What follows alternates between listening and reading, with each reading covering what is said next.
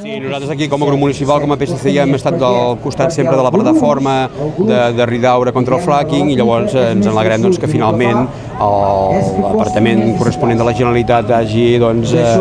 tret aquest permís d'explotació de, doncs, dels pous de Ridaura i del Ripollès. Una bona notícia perquè